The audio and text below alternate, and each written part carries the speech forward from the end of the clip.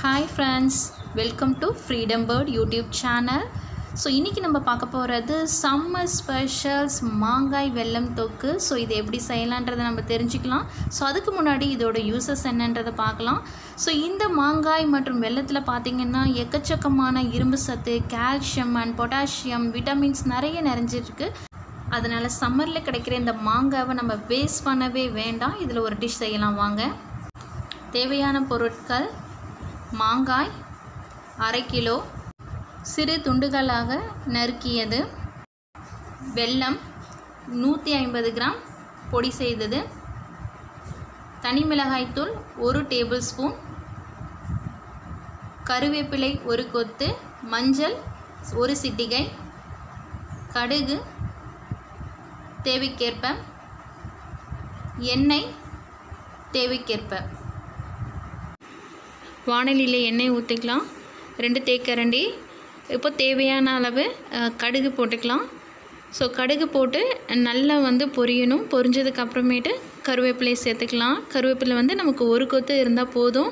So கருவேப்பிலை சேர்த்து நல்லா வந்து கலர் சேஞ்சஸ் ஆனதுக்கப்புறம் மாங்காய் ஆட் பண்ணிக்கலாம். மாங்காய் வந்து பார்த்திங்கன்னா சின்ன சின்ன துண்டாக இருந்தது அப்படின்னா ரொம்பவே சீக்கிரமாக நமக்கு வதங்கிடும். ஸோ அதனால் மாங்காய் எல்லாத்தையும் நம்ம வந்து சின்ன சின்ன துண்டாக கட் பண்ணி இதில் நம்ம சேர்த்துக்கலாம்.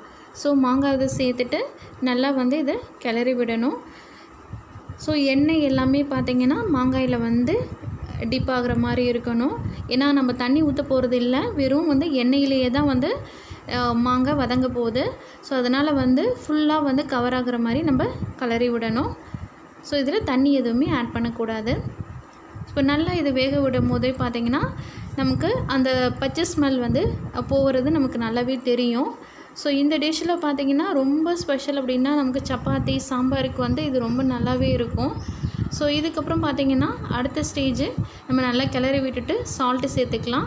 ஸோ சால்ட் வந்து பார்த்திங்கன்னா தேவையான அளவு மட்டும் இப்போ சேர்த்துக்கோங்க. கடைசியாக நம்ம சால்ட் சேர்த்துக்கலாம். சால்ட்டு சேர்த்ததும் நல்லா வந்து கிளறி விடணும்.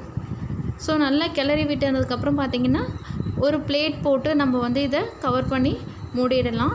இது நம்ம கலர் சேஞ்சஸ் வர்றது பார்த்திங்கன்னா நமக்கு நல்லாவே தெரிய ஆரம்பிக்கும்.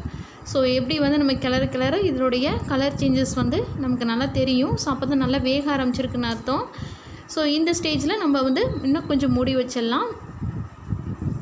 ஸோ மூடினதுக்கப்புறம் பார்த்தீங்க அப்படின்னா கொஞ்சம் டைம் எடுக்கட்டும். அதுக்கப்புறம் மஞ்சள் சேர்த்துக்கலாம். மஞ்சள் தூள் பார்த்திங்கன்னா ஒரு சிட்டிகை சேர்த்துலாம். ஸோ இதையும் நல்லா கிளறி விடணும். மஞ்சள் ஸ்ம தூளுடைய ஸ்மெல்லு வந்து போகணும்.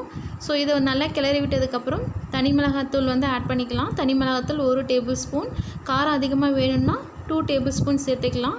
இது காரம் வேண்டாம் அப்படின்ற நினைக்கிறவங்க இதுக்கு பதிலாக பட்டை மிளகாய் சேர்த்துக்கலாம். ஸோ இதையும் நல்லா பார்த்தீங்கன்னா கிளறி விடணும். பிகாஸ் இதில் இருக்கிற அந்த தனி மிளகாத்தூளோடைய ஸ்மெல்லு வந்து நமக்கு ஃபுல்லாகவே வந்து போயிடணும். ஸோ அப்போ தான் வந்து இதில் வந்து நல்லா டேஸ்ட்டு கொடுக்கும். ஸோ இதுவும் பார்த்தீங்கன்னா இப்போ ஒரு நல்ல மூடி போட்டு கொஞ்சம் நேரம் இதோடைய ஸ்மெல் போகிற வரைக்கும் வேக விடலாம். ஒரு ஃபைவ் மினிட்ஸ் வந்து நல்லா குக் ஆகட்டும். ஸோ இந்த ஸ்டேஜில் நம்ம வந்து வெல்லம் வந்து ஆட் பண்ணணும். ஸோ வெல்லம் வந்து பார்த்திங்கன்னா ஆல்ரெடி துருவி வச்சுருக்கோம். ஸோ இந்த வெல்லத்தை பார்த்திங்கன்னா இப்போ சேர்த்துட்டு நல்லா கிளறி விடணும். ஸோ இது நல்லா கிளறி விட்டோம்னா இதுக்கு எதுவும் தண்ணி எதுவும் ஆட் பண்ண வேண்டாம்.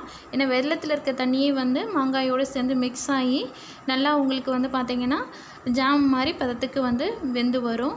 ஸோ இப்போ நம்ம வந்து இதை கிண்டிக்கிட்டே இருக்கணும். ஸோ கிண்டிக்கிட்டே இருக்கும்போது இதில் இருக்கிற எண்ணெய் வந்து பிரிஞ்சு தனியாக வர ஆரம்பிக்கும். இப்போ டிஷ் வந்து ரெடி ஆயிடுச்சு சர்வ் பண்ணலாம்.